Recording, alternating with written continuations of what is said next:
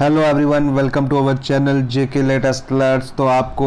एक बार फिर से good morning to all of you and आप सबका हमारे channel J K latest alerts में स्वागत है। तो आज हम डिस्कशन करने जा रहे हैं J K S S B class fourth की कुछ अपडेट्स के बारे में, कुछ फ्रेश अपडेट्स जो हमने प्रीवियस भी डिस्कशन किया, पर आज एक बार फिर से हम आपके पास ये वीडियो लेके आ रहे हैं और ये सभी कैंडिडेट्स के लिए फ़ायदेमंद होगी जिन्होंने सेकेंड डी में पार लिया था और पीडब्ल्यूडी जो लिस्ट के बारे में अपडेट देंगे हम इस वीडियो में। तो अगर आप हमारे चैनल पर फ़र्स्ट टाइम विज़िट करें तो चैनल को सब्सक्राइब करें।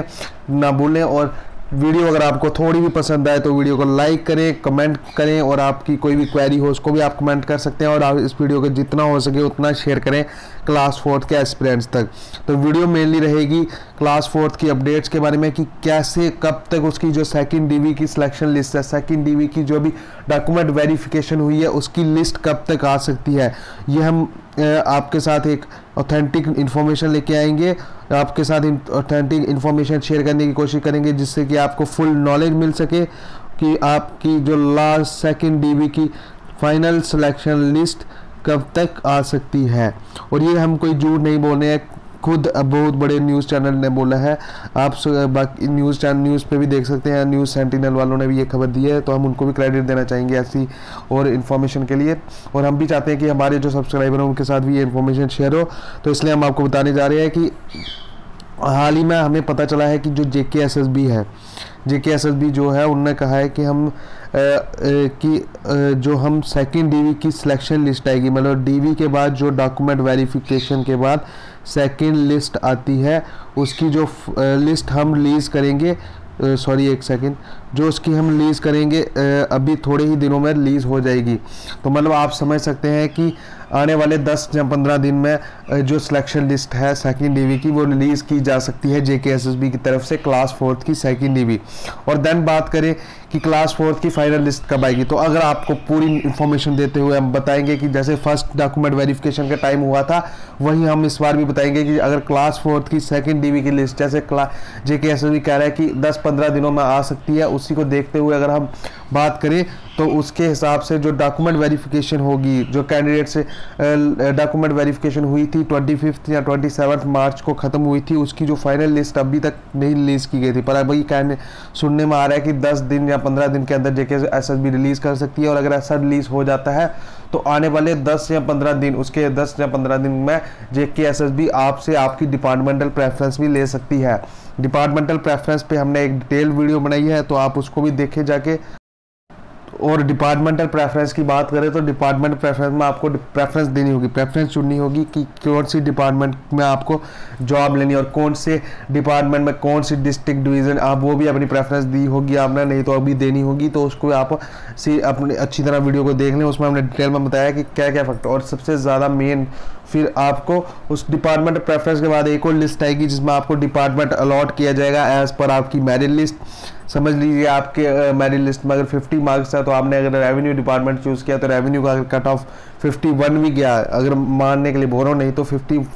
तो नहीं जाएगा, कम ही जाएगा। 50 बन जाता है और आपको 50 है तो आपको उसके नीचे वाला जो आपने प्रेफरेंस दी होगी, वो डिपार्टमेंट पे भेज देंगे। तो ये होता है डिपार्टमेंटल प्रेफरेंस में। तो इसलिए आपको डिपार्टमेंटल प्रेफरेंस जब भी चुनी होगी, पूरी होश में चुनना अपने घर वालों से डिस्कशन कर लेना, अपनी फैमिली मेंबर्स जो आपसे बड़े हैं, उनके साथ डिस्कशन करके ही डिपार्टमेंटल प्रेफरेंस चुनना। देन बात की जाए डिपार्टमेंटल प्रेफरेंस के बाद आपको, आपका रिस्पेक्टिव डिपार्टमेंट अलॉट कर दिया जाएगा, जहाँ पे आप मेरिट में फॉल करेंगे। अगर आप मेरिट में फॉल करते हैं तो आपको उस डिपार्टमेंट में कोई भी पोस्ट आपकी, जो क्लास फोर्थ की पोस्ट के लिए फिल करनी थी, उसके बारे में बता दिया जाएगा। अगर समझ लीजिए कि आपको रेवेन्यू में अगर क्लास फोर्थ के कोई भी काम दे दिया जाएगा, उसके बारे में आपको एक लिस्ट रिलीज़ कर दी जाएगी। देन उसके हम मान सकते हैं कि वन या वन एंड हाफ़ मंथ के अंदर आपकी फाइनल सिलेक्शन लिस्ट आ जाती है। नहीं तो हमने तो मई में प्रिडिक्ट किया था कि मई फ़र्स्ट वीक में आ जाएगी, क्योंकि अगर उस हिसाब से चलते तो जे के जैसे चल रहे थे, अगर वैसा जे के टाइम टू टाइम रिलीज़ करते रहते तो अभी तक डिपार्टमेंट में प्रेफरेंस भी हो जानी थी आपकी एंड आपको शायद से डिस्ट्रिक्ट भी वो कैडर भी लॉट कर दिए जाते पर अभी तक ऐसा कुछ नहीं हुआ है। जे के एस ने थोड़ा डिले कर दिया प्रोसेस में, हम मान भी सकते हैं, क्योंकि अभी जे के पी एस आई का भी एग्ज़ाम हुआ था, उसमें भी उन्होंने एग्ज़ाम वगैरह लिया, फिर उसके एग्ज़ाम के आपको पता है पेपर वगैरह भी जो हमारे पे बेस्ड हुआ था, उसको चेक वगैरह में टाइम लग जाता है, इसलिए उनको वो भी रिलीज़ करना होगा तो वो सोच रहे होंगे इसको थोड़ा डिले करते हैं। देन बात की जाए कि फाइनल सिलेक्शन लिस्ट आपकी वन एंड हाफ़ मंथ्स तक आप मान सकते हैं, जो आपकी सेकेंड डीवी की सिलेक्शन लिस्ट के बाद। ये क्योंकि इसमें थोड़ा सा प्रोसेस लगता है, फिर आपके डिपार्टमेंट को भी वो फॉरवर्ड होती है एंड देन फाइनल लिस्ट जो आती है, उसमें आपका अलॉट कर दी जाता है डिपार्टमेंट वगैरह। तो देन आपकी जो वेरिफिकेशन होती है, जो डिपार्टमेंट करता है देन आपकी ज्वाइनिंग हो जाएगी एंड आप वन एंड हाफ़ मंथ के बाद ज्वाइन भी हो सकते हैं अपने डिपार्टमेंट रिस्पेक्टिव डिपार्टमेंट देन हमारे class fourth P W D जो कैंडिडेट्स हमारे भाई थे वो हमें कमेंट सेक्शन में पूछ रहे थे सॉरी कमेंट सेक्शन में पूछ रहे थे कि सर हमें बताएँ हमारी अभी तक डॉक्यूमेंट वेरिफिकेशन जो फ़र्स्ट टाइम की हुई थी, उसकी भी अभी तक कोई फाइनल लिस्ट नहीं रिलीज़ की गई है, जबकि हमारी सेकेंड लिस्ट निकाल दी है। तो आपको बता दूँ कि जो पी डब्ल्यू डी की पोस्टें भी बहुत कम थी 300 कुछ अराउंड 360 मेरे को अभी पक्का नहीं पता फुल पर 360 के अराउंड थी। जब मैं वीडियो बना रहा हूँ तो अराउंड 160 टू 180 तक